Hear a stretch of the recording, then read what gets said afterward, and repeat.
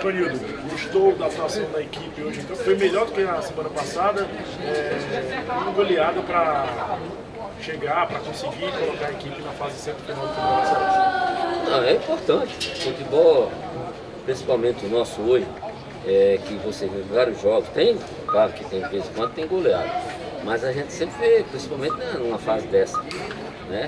E você conseguir em dois jogos fazer sete gols e ainda deixamos de fazer outros, é claro que é importante, mostra que o nosso time está chegando né, é, pra, na área do adversário. Às vezes você faz um gol de longa distância, mas nós estamos chegando.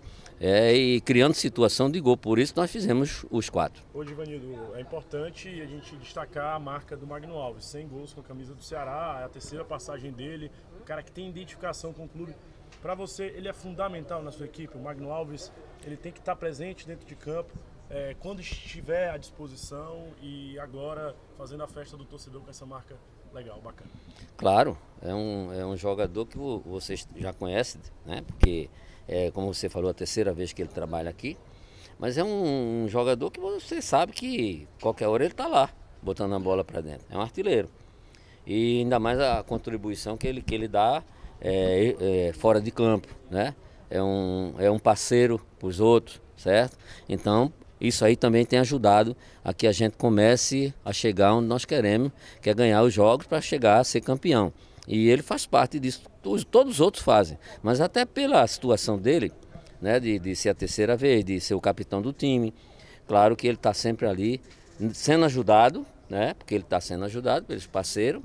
É, hoje mesmo os dois gols ele teve lá o, os passes, ninguém joga sozinho, mas ele é um, é um vamos podemos dizer, um, uma liderança junto aos companheiros.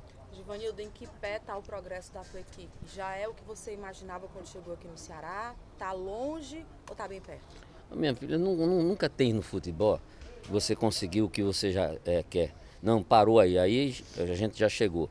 Primeiro que no futebol ninguém chega 100%, não chega, ninguém. Quando você chega a 80% já está muito bom, mas muito bom mesmo, não é ótimo não. E a gente espera chegar a esses 80%. Nós estamos ainda, eu acho que uns 60% por aí. E tem algumas coisas para evoluir ainda.